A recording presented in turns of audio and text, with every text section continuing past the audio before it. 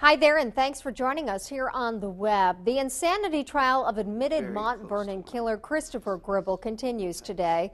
This week, the prosecution will present its case to the jury.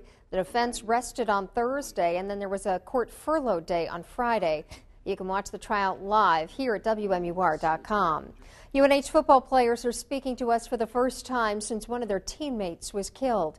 Police say Todd Walker was killed during an attempted robbery while he was at home in Colorado.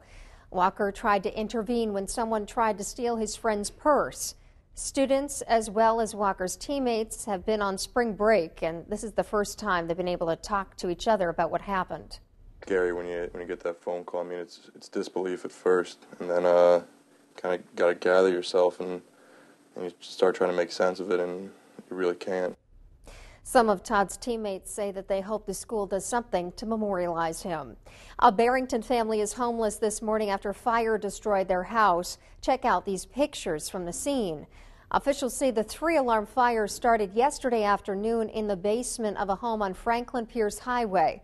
The chief says when firefighters arrived, smoke was coming out of all of the windows. And judging by how fast the flames spread, he thinks the house may be a total loss. Numerous fire departments were called in to help battle this fire. Uh, first floor had dropped down into the basement, making it not safe to gain entry. So uh, primarily this has been a manpower fire in the fact that it's uh, very labor intensive, having to do everything from the outside and uh, work it from that way. Officials say one resident was taken to the hospital but is expected to be okay. Everyone else inside the home was able to get out safely. The cause of the fire remains under investigation.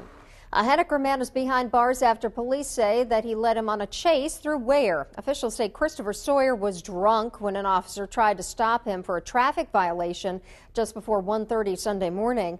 They say he sped off and ended up crashing his car in Henniker near the intersection of Flanders and Craney Pond Roads.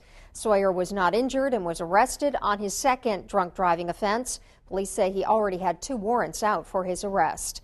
And that's your morning webcast. We hope you can join us this afternoon for your afternoon webcast right around 1 o'clock. Take care. Have a great day.